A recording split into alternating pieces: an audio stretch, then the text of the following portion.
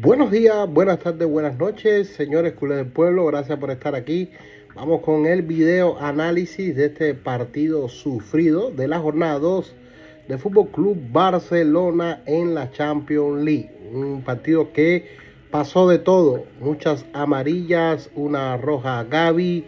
Bueno, en fin, un partido complicado con el Porto, el equipo de Portugal el Barcelona que visitaba el Do Grau, un estadio complicado para el Barça que, bueno, tenía antecedentes ya de visita, hace mucho tiempo no ganaba. Hoy Barcelona salía con un 11 verdaderamente para mí bueno, excepto para mí le tenía que entrar Fermín en vez de Oriol Romeo. Solamente es mi opinión y bueno, como fue partido, pues sí, de los puntos más bajos, Oriol Romeo que se ha caído un poquito del Barça en los últimos partidos y Xavi tendrá que recuperarlo. Bueno, un partido complicado donde el Barça no encontraba el juego, no encontraba el control del partido, sobre todo eh, donde el Porto se le complicaba las cosas con mucha claridad que le llegaba y el Barça dejando muchas fragilidades en su juego, sobre todo en la imagen. Llega así al punto que se llenan de amarillas. Eh, la expulsión a Gaby también. Bueno, un partido sumamente para mí malo del Barça, pero es cierto que, bueno, el Barça suma 6 puntos, eh, mirando el lado positivo y todavía no ha encajado aún, ¿no?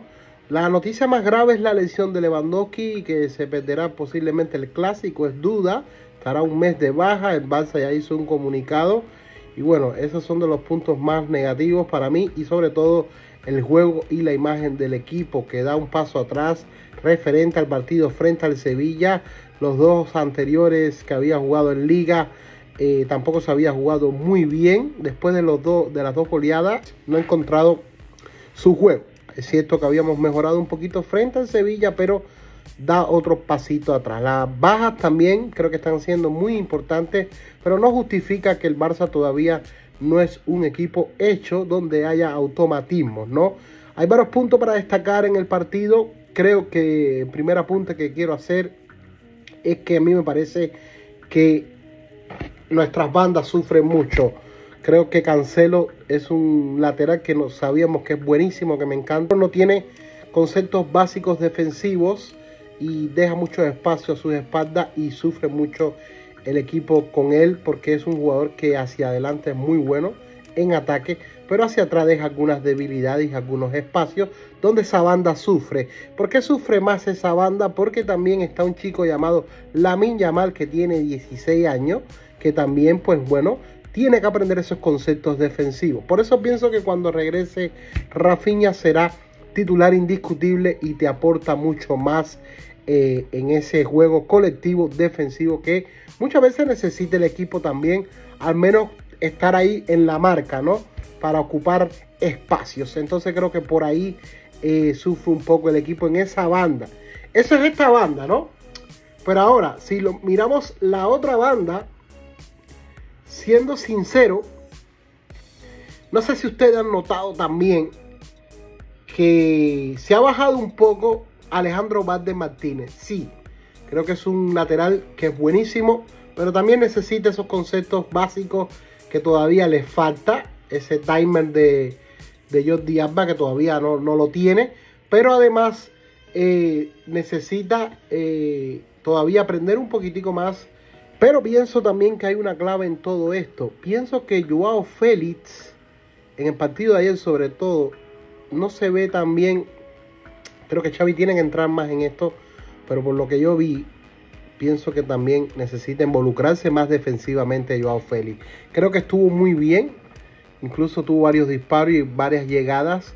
Creo que era el jugador que más estaba eh, teniendo un poco de desequilibrio, pero tiene que aportar y apoyar más esa banda también a, a Valde. Creo que por eso se está viendo que los defensas están sufriendo mucho porque tienen que cubrir muchos espacios y, le ganan las espaldas como el Barça juega con una defensa también bien adelantada, pues por ahí se está viendo un poquitico esas debilidades. Eso es lo que pienso, que debe involucrarse más en, esa banda Joao Félix con Alejandro Valde. Pero como comentaba, el punto más débil para mí es el medio campo, las bajas de Frankie de Jong y Pedri. Ya comentaba yo en los directos del culo del pueblo que hay un dato, hay una estadística que cuando no está Frankie de Jong, que se lesiona poco, pues el equipo sufre más. Es un amuleto importante cuando está Frankie de Jong. Verdad que el equipo está sufriendo mucho. Creo que Gundogan eh, en el segundo tiempo, pues bueno, arregló un poco el partido y, estuvo manteniendo un poco el control.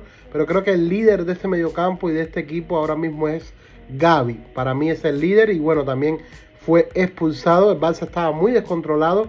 Un desorden completamente y se vio que el Barça cometió 18 faltas, muchas amarillas, una roja. Oriol Romeo, digo, perdido, ¿no? Perdido. Y los centrales sufren. Los centrales sufren porque tienen los problemas de bandas que le he comentado en defensa y los problemas también de eh, el equipo se parte, es una autopista, no hay, no hay realmente un stop, un pare en ese mediocampo y nos atacan con mucha fluidez, se vio contra Mallorca, tres toques pues te pueden hacer goles y los rivales comprenden eso y llegan rápido. Creo que nos han estudiado muy bien esta parte y yo creo que el equipo, pues bueno, no es compacto y se parte un poco. Vamos a ver si Xavi pues vuelve al, a los cuatro medios o, o, qué hace en este sentido para tener un poco más el control y estar un poco más seguro desde atrás porque así ganamos la liga la temporada pasada, ¿no? Ferran estuvo espectacular, ¿no? Ferran gana más galones. Parece que Lewy no llega, no va a estar contra Granada. Y creo que Ferran sería el titular, el revulsivo, el reemplazo para, para suplir a Lewandowski. De verdad que Ferran, pues bueno, cada vez que sale del banquillo marca sus goles, ¿no? El Barça suma 6 puntos.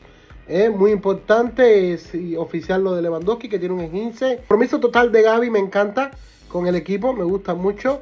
Y bueno, veremos eh, qué pasa. El Barça va a tener que ir por un pivote Veremos si llega Guido Rodríguez. El Barça está atrás de él varios meses ya. Y bueno, 100 partidos de Xavi, ¿no? Al mando del Barça. Déjame en los comentarios qué opina. 100 partidos ya, centenario del Fútbol Club Barcelona, Xavi Hernández. Y bueno, hay también que destacar que el Barça, bueno, en su mal juego, dentro de lo malo, eh, eh, no encaja goles. Esto era algo importante porque en Champions fuera de casa ya recibíamos muchos goles. Esto es importante. Eh, y bueno, lo de Joao Félix eh, no ayuda mucho a Valde y puede dar más en defensa. Yo creo que es un punto que yo hago ahí un paréntesis también. Y bueno, es una victoria que al final alivia un poco los fantasmas, pero no del todo. Pero sí es una victoria importante, 6 puntos de oro para próximo partido Chatar. Y bueno, después del parón, así que será importante. Ahora Granada de visita este mes de octubre. Balsa tiene dos partidos de visita y tres en casa. También recibir a los Leones de Íñigo Martínez, el es de, los Leones. Y bueno, Chata Doné y el clásico. Ojo con el clásico 28 de octubre. Yamin Lamal, el canterano más joven en ser titular, en debutar. Vamos a ver un poquito de este paréntesis. Porque la más se fue a cagar, literalmente. No se sabe verdaderamente qué ha pasado, pero se fue a cagar tenía problemas estomacales. Venía avisándole a Xavi. Entonces creo que esto es error, ocupa de Xavi. Hay que ver ahí qué está pasando. Tiene 16 años. Pero también, imagínate, Barça estuvo 10 minutos, literalmente 10 eh, minutos con uno de menos. Porque la Minya Mal estaba haciendo popó. Imagínate que este partido lo hubiéramos perdido, hubiéramos empatado, hubiéramos... esto hay que corregirlo. Esto son cosas de equipos de chicos, de equipos novatos, ¿eh? Esto es la élite del fútbol, esto es algo realmente complicado, raro, un dolor de estómago y, bueno, fue hacer eh, popó y dejó el equipo con 10, ¿no? Esto es realmente increíble esto que está pasando, ¿no? Bueno, baja sensible lo de Gaby, que no estará frente al Chata, muy importante. Eh, esto sí quería comentarlo, eh, que la niña mal fue a ir al baño. Y bueno, se sufrió mucho en Portugal pero bueno, se saca una victoria importante. ¿Vale? Eh, el Bar también, bueno, confirmó un golazo que nos hizo Taremi. Tuvimos suerte, verdaderamente, porque este partido nos hubiera hecho fácil el Porto tres goles. Y bueno, no, no. Gracias a Dios el Bar y después también la polémica de, de que Cancelo pudo haber sido penalti. Bueno, canta el árbitro eh, mano anterior del jugador de Porto. Y en fin, bueno, hasta aquí yo creo que, bueno, el Barça eh, importante victoria, como les decía. Eh, Oriol Romeo, muchos problemas en Europa, los mismos que busqué. muy bajo. Para mí la nota más baja del partido es Oriol Romeo. Muchas cositas que mejorar. Cundé estuvo espectacular, pero también hubo cositas que, hay que corregir. Me parece que cuando no está Christensen, este equipo sufre mucho en la salida, le cuesta liberar la presión también. Y bueno, eh, se me está haciendo que es una plantilla que se está una vez más volviendo corta por muchas lesiones, por X, por Y. Creo que todavía no estamos al nivel y el equipo todavía no se encuentra las piezas eh, claras que, necesitamos para hacer nuestro buen juego y bueno, nosotros los culés, pues bueno, somos exigentes. Pero estamos contentos, claro que sí. Creo que todos los culés estamos contentos por la victoria. Pero algunos somos más críticos o autocríticos que otros. Simplemente usted, si no va a criticar, pues no critique la opinión del culé que opina diferente. Eh, respetemos las opiniones de todos. Pero bueno, un mal partido de Fútbol Club Barcelona. Esperemos que mejore mucho en estos conceptos básicos, tácticos, automatismos donde yo siento que no le pasa la pelota más a la Minya mal, donde yo siento que tenemos buenos jugadores, pero creo que ahora mismo en mediocampo no puede jugar Gundogan eh, con Oriol Romeo, no, no puede jugar ahí Oriol Romeo de pivote solo, Gundogan lo podría hacer, claro que sí, creo que deberíamos darle más, más juego a Fermín, creo que tuvo que haber sido el titular para que este equipo hubiera tenido más velocidad y y no se pierde ese factor sorpresa porque el equipo se vuelve muy lento, muy espeso y no logran conectar, no tiene amplitud, no tiene profundidad en las bandas, tiene más desequilibrante que es la Minya Mal y siento que a veces no le pasan la pelota. El equipo todavía no juega de memoria, no tiene claro todavía a qué juega, cada partido es diferente, damos un pasito atrás y después dos adelante, pero somos líderes en el grupo de la Champions estamos invictos, como quiera que sea, no hemos encajado goles. Y bueno, hay muchos culés que les vale esto, ¿no? Les vale esto.